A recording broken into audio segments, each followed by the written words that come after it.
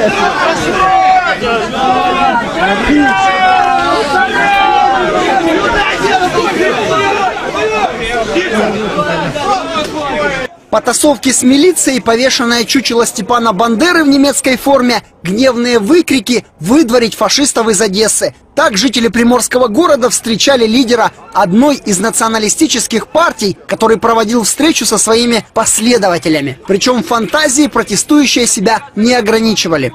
Сегодня мы принесли воду с собой. Это святая вода, потому что сегодня четверг, чистый четверг. И мы сегодня хотим вымыть Одессу от фашистской нечисти. Мы всем будем раздавать чеснок как символ, старый народный символ борьбы против нечисти. Я надеюсь, что именно только чесноком мы сможем отогнать от Одессы эти силы, фашистскую нечисть. Для того, чтобы не допустить массового побоища между противниками и сторонниками националистов, милиция была вынуждена блокировать вход в Одесскую киностудию. Именно там происходила встреча. Несмотря на это, противники националистов несколько раз пытались прорваться на собрание.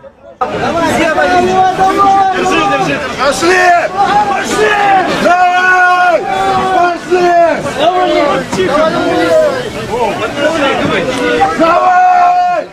Для того, чтобы попасть на встречу со своими симпатиками, Олег Тягнебок был вынужден тайком с черного входа проникать на территорию. Кстати, никто из лидеров оппозиционных партий, представленных в Одесской области, так и не пришел на встречу со скандальным политиком, хотя Олег Тягнебок и пытался утверждать обратное.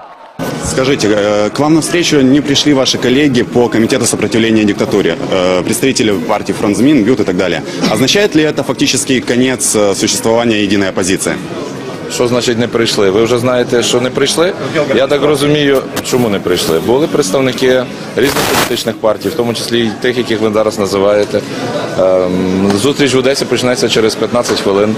Зрештою, це ж зовсім не є жодна проблема, але на всі ті зустрічі, е, коли я, які я проводив загалом по Україні, то в принципі завжди приходили представники різних політичних сил і наших партнерів сьогоднішніх, і наших політичних опонентів.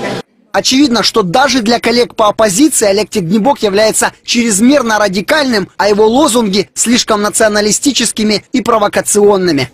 Руслан Смещук, Владимир Полуев, Константин Длужневский и Алексей Чиповский. Телекомпания АТВ.